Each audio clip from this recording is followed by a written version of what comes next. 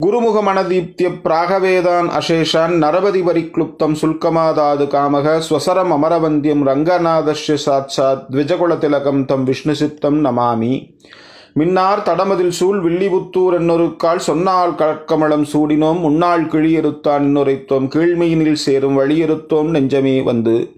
பாண்டியன் கொண்டாட பட்டர்விரான் வந்தான் நீண்டிய சங்கம் எடுத்தூத.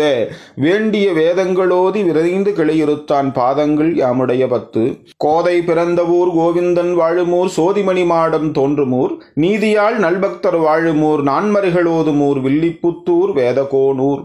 பெரியாழ்வார் பெற்றெடுத்த பெண் பிள்ளையான ஆண்டாள் பூமாலை சூடிக் கொடுத்தும் பாமாலை பாடிக் கொடுத்தும் எம்பெருமானை எப்படி அடைய வேண்டும் என்கின்ற அற்புதமான சரணாகதி மார்க்கத்தை இந்த திருப்பாவையிலே காட்டி அருளினாள். பூமி பிராட்டியான ஆண்டாள் பாவை நோன்பு நோற்று எம்பெருமானையே தன்னுடைய கணவனாக அடைந்தாள் என்பது மட்டுமல்ல அவள் பெற்ற பெரும்பேறு தனது திருத்தகப்பனாராக பெரியாழ்வாரை பெற்றது.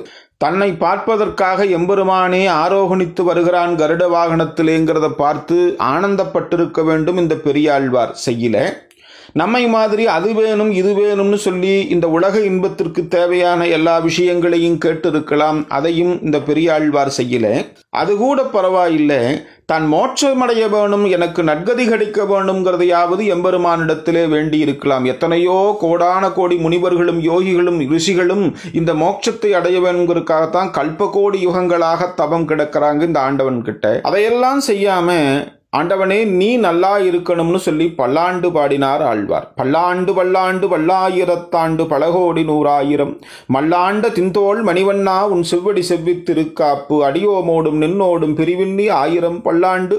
வடிவாய் நின் வளமார்பில் வாழ்கின்ற மங்கையும் பல்லாண்டு. வடிவாய்ச்சோதி வளத்துறையும் சுடராழியும் பல்லாண்டு. படைப்போர் புக்கு முழங்கும் அப்பாஞ்சசன்யமும் பல்லாண்டேன்னு சொல்லி நீ நன்றாக இருக்க வேண்டும்னு சொல்லி மங்களாசாசனம் செய்தார். அதனாலே அவர் பெரிய ஆழ்வார். மங்களாசாசனத்தில் மற்றுள்ள ஆழ்வார்கள் தங்கள் ஆர்வத்தளவுதான் அன்றி பொங்கும் பரிவாலே வில்லிப்புத்தூர் பட்டர்பிரான் பெற்றான் பெரியாழ்வார் என்னும் பெயர்பார் மணவாள மாமுனிகள். அந்த பட்டர்பிரான் கோதையான ஆண்டாள் தானும் தன்னுடைய திருத்தகப்பனாரைப் போல பெருமாளுக்கு பல்லாண்டு பாட வேண்டும் என்கின்ற ஆர்வத்தாலே பாடிய பாசுரம் இது. சென்ற பாசுரத்தில் கோபிகைகள்லாம் பெருமானே நீ சீரிய சிங்காசனத்திலே இருந்து யாம் வந்த காரியத்தை ஆராய்ந்து அருள வேண்டும் என்று வேண்டினார்கள்.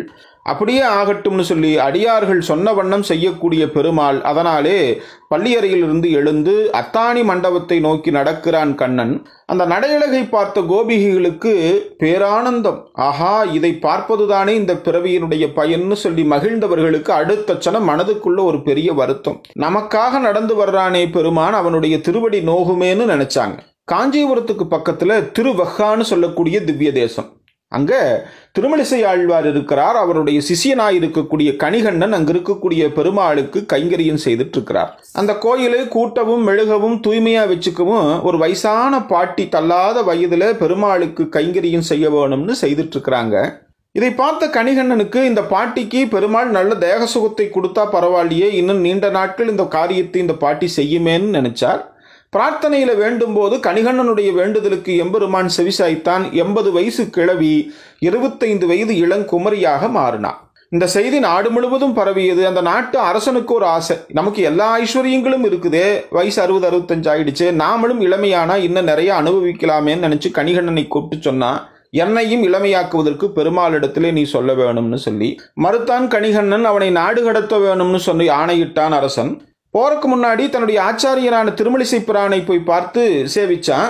அவருக்கு ஒரு பக்கம் மகிழ்ச்சி ஒரு பக்கம் வருத்தம். இப்படி ஒரு பரம பாகவதனை நமக்கு சுஷியனாக பெற்றிருக்கிறோமேனு மகிழ்ச்சி. இன்னொரு பக்கம் இந்த அரசன் இவ்வளவு பெரிய பாகவத அபச்சாரத்தை செய்திருக்கிறானே இவனுடைய நாட்டில் நாம் இருக்க வேண்டுமான்னு சொல்லி புறப்படு போலாம்னார். போறதுக்கு முன்னாடி அந்த பெருமாளையும் நம்மோடு அடைத்துச் செல்லலாம் வான்னு சொல்லி கூட்டிட்டு போறார். கணிகண்ணன் போகின்றான் காமரும் பூங்கச்சி மணிவண்ணா நீயும் இங்கே கிடக்க வேண்டாம் துணிவுடைய சென்னா புலவனும் போகின்றேன். நீயும் உந்தன் பைனாகப்பாயை சுட்டி கொள்னார். அடுத்த நிமிஷம் எம்பெருமாள் பாம்பனையை சுருட்டி கக்கத்தில் வச்சுட்டு நடங்க போலாம்னார். மன்னன் வந்து மனம் வருந்தி மன்னிப்பு கேட்டான். திரும்பி நீ இங்கேயே படுத்துக்கொள்னார் அப்படியே ஆகட்டும்னு எம்பெருமான் செய்தான். அடியார்களின் வாக்குக்கு கட்டுப்பட்டு நடக்கக்கூடியவன் எம்பெருமான். அதனாலே அவன் சொன்ன வண்ணம் செய்த பெருமாள் அதுபோல இந்த கோபிகளினுடைய வேண்டுதலையும் கேட்டு அப்படியே ஆகட்டும்னு சொல்லி எம்பெருமான் நடந்து வருகிறான். இந்த நடந்து வரக்கூடிய பெருமானனுடைய திருவடிகள் நோகுமே அந்த திருவடிகளுக்கு பல்லாண்டு பாட வேண்டும் என்று பாடுகிறாள் ஆண்டாள் இந்த பாசுரத்தில்.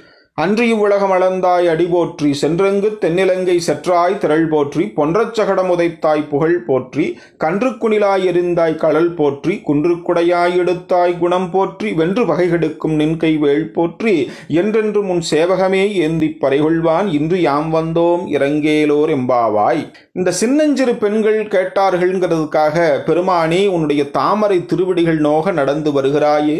உன்னுடைய திருவடிகளுக்கு நாங்கள் பல்லாண்டு பாட வேண்டும் என்று அன்றி உலகம் அளந்தாய் அடிபோற்றின்னு சொல்லி வாமன அவதாரத்தை நினைத்து பார்க்கிறாள் ஆண்டாள் சங்கு சக்கரங்களை கையிலேந்திய சர்வேஸ்வரனான எம்பெருமான் இந்த தேவர்களினுடைய வறுமையை போக்குவதற்காக மாபலியிடத்திலே கையேந்தி நடந்தானே. மூன்றடி மண் வேண்டி முதலடியாலே வானை இழந்தான் இரண்டாவது அடியாலே பூமியை இழந்தான் மூன்றாவது அடியை இந்த உலகத்தில் உள்ள எல்லா ஜீவராசிகளினுடைய தலையிலும் வைத்தான். அந்த திருவடியானது நம்ம தலையில பட்டபோது நாம் என்ன ஜென்மமாய் இருந்திருப்போம்னு நமக்கு தெரியாது. நாம் அறியாதிருந்த அந்த பிறவியில் கூட ஆண்டவன் நமக்கு கருணை செய்தான். அப்பவே நமக்கெல்லாம் விஷ்ணு சம்பந்தம் ஏற்பட்டது. அந்த தினத்தை நினைத்து பார்த்து சொன்னால் ஆண்டாள் அன்று இவ்வுலகம் அளந்தாய் அடிபோற்றின்னு அந்த கண்ணன் நடந்து வரக்கூடிய திருவடிவட்ட இடத்தை கண்களிலே ஒற்றிக்கொண்ட கோபிகைகள் கண்ணன் அடுத்த அடி எடுத்து நடக்கிறான். அவர்களுக்கு ராமாவதாரம் நினைவுக்கு வருகிறது. வாமன பெருமாளோ இருந்த இடத்திலே இருந்து மூன்றுலகையும் அளந்தான். ஆனால் இந்த ராமனோ கைகேயினுடைய ஆணைக்கு கட்டுப்பட்டு பதினான்கு ஆண்டு காலம் கல்லிலும் உள்ளிலும் நடந்தான். அதனாலதான் கும்பகோணத்துல ஆறாவது ஆழ்வானை பார்க்க போறார் சார்கபாணி கோயிலுக்கு திருமலிசை பிரான் போனவர் படுத்து கொண்டிருக்கக்கூடிய பெருமாளை பார்த்தவுடனே அவருக்கு கண்களிலே கண்ணீர் வருது. பெருமானே உன்னுடைய கால்களெல்லாம் நோகுதுன்னு சொல்லி நீ பள்ளி கொண்ட உடையார்.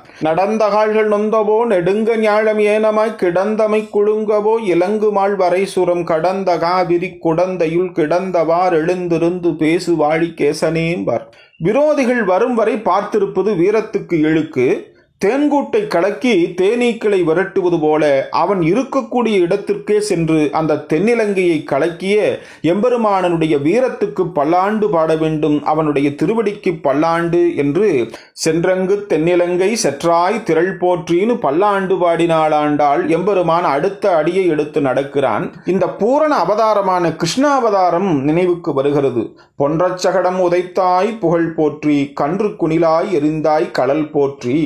சின்னஞ்சிறு குழந்தைதானே கண்ணன் அவன் வளர்ந்துதானே நம்மை அழிக்கப் போகிறான்ங்கிற பொறுமை கூட இல்லாம அந்த ஹம்சன் ஏராளமான அரக்கர்களை அனுப்பினான். அதுல வண்டி சக்கரமாக வந்தவன் சடகாசுரன். உருண்டு வந்து எம்பெருமான் மேல விழுந்து அவனை கொன்றுவிட வேணுங்கிற தீய எண்ணத்தோடு வந்தான். பாலுக்கு அழும் பாலகனாக காலை உதறிய எம்பெருமானுடைய திருவடி பட்டது இந்த சடகாசுரன் சுக்குநூறாக சிதைந்தான். எத்தனையோ அசுரர்கள் தனித்தனியாக வந்து எம்பெருமானை வெல்ல முடியல அதனால கூட்டணி போட்டு ஜெயிக்கலாம்னு சொல்லி இரண்டு அசுரர்கள் கூட்டணியாக வந்தாங்க. அதுல கபிஜாசுரன் சொல்லக்கூடியவன் விழாமரமாக வந்து நின்னா வத்சாசுரன் கன்றுக்குட்டியாக வந்து அந்த மரத்துக்கடியில நிற்கிறான். அந்த மாடு கண்ணுகளோட கலந்து கண்ணனுடைய கவனத்தை திசை திருப்பி அந்த மரத்துக்கடியில் கொண்டு வந்தவனை நிற்க வச்சு அப்படியே மேலே விழுந்து அவனை நசுக்கி கொன்று விட வேணுங்கிறது இந்த அரக்கர்களுடைய திட்டம். இந்த விவரம் தெரியாம பழம் வேணும் கிருஷ்ணா விளாம்பழத்தை எங்களுக்கு பறித்து கொடுன்னு கேட்கறாங்க கூட வந்த நண்பர்கள். ஒரு கவன்கல் எடுத்து பழங்களை அடித்து தர வேண்டிய கிருஷ்ணன் இந்த கன்றுக்குட்டியையே கவன்கல்லாக்கி அந்த மரத்தை ஓங்கி அடித்தான். மரமும் கீழே விழுந்தது. இந்த கன்றும் மாண்டது. மீண்டும் இந்த ஹம்சனுடைய கனவானது தொலைந்தது அதுபோலவே தேவேந்திரன் நான்கிற அகம்பாவத்தோடு இருக்கிறான் இந்திரன். அவனுடைய ஆணவத்தை அடக்க வேணுங்கிறதுக்காக இனிமேல் திருவாய்ப்பாடியில் இந்திர விழாங்கிறது தேவையில்லை. நமக்கெல்லாம் படியளக்கக்கூடிய இயற்கை செல்வமாக இருக்கக்கூடிய இந்த கோவர்தன மலைக்கு நாம் விழா கொண்டாடலாம்னு எம்பெருமான் சொன்னான். அப்படியே கோப கோபியர்கள் எல்லாம் இந்த கோவர்தன மலைக்கு விழா எடுத்தாங்க. கோபம் வந்தது இந்திரனுக்கு. கல் மாறி பொழிஞ்சா. எம்பெருமான் கோவர்தன மலையையே குடையாக தாங்கி பிடித்து அந்த ஆயர்களையும் ஆக்களையெல்லாம் காத்தான். அந்த கிரிதாரியாக விளங்கக்கூடிய எம்பெருமானை கொன்று குடையாய் எடுத்தாய் குணம் போற்றின்னு பாடுகிறாள் ஆண்டாள். நிறைவாக பெருமானனுடைய இவ்வளவு சிறப்புகளையும் சொல்லிட்டோமே இதனால எம்பெருமானுக்கு ஏதாவது கண்ணு பட்டுடுமோன்னு நினைச்சு திருஷ்டி படாமல் இருக்க வேணுங்கிறதுக்காக இத்தனை சிறப்புகளுக்கும் காரணம் நீயல்ல உன்னுடைய கையில் இருக்கக்கூடிய வேல் என்பதை சொல்லி வென்று பகைகெடுக்கும் நின்கை வேல் போற்றின்னு சொல்லி வேலையும் போற்றினாள் ஆண்டாள். கண்ணன் கையில் புல்லாங்குழல் தானே இருக்கும் வேல் முருகன் கட்டத்தானே இருக்கும் கண்ணன் இடத்துல எப்படி வேல் வந்தது அப்படின்னு பார்த்தா முதல் பாசுரத்திலேயே இவனுடைய தகப்பனாய் இருக்கக்கூடிய நந்தகோபன் இந்த குழந்தைக்கு எந்த தீங்கும் வந்துவிடக்கூடாதுங்கிறதுக்காக ஒரு கூர்வேலை வைத்துக்கொண்டு கடுங்காவல் செய்தான். அந்த கூர்வேல் கொடுந்தொழிலனான நந்தகோபன் கையில் இருந்த வேலானது தகப்பனார் சொத்து பிள்ளைக்கு வருவது போல இந்த கிருஷ்ணனுக்கும் வந்தது. அந்த வென்று பகைகெடுக்கக்கூடிய வேலுக்கும் பல்லாண்டு பாடுகிறாள் ஆண்டாள். நிறைவாக என்றென்றும் உன் சேவகமே ஏந்திப் பறைகொள்வான். இன்று யாம் வந்தோம் இறங்கேலோர் எம்பாவாய்னு சொல்லி இந்த மங்களமான பல்லாண்டு பாசுரத்தை திருநிறைவு செய்கிறாள் ஆண்டாள். இந்த பாசுரத்தினுடைய கடைசி அடியே ஒவ்வொரு அடியோடும் நாம் சேர்த்து நினைவில் கொள்ள வேணும். அன்று இவ்வுலகம் அளந்தாய் அடி போற்றி இன்று யாம் வந்தோம். தென்னிலங்கை செற்ற திரள் போற்று இன்று யாம் வந்தோம்.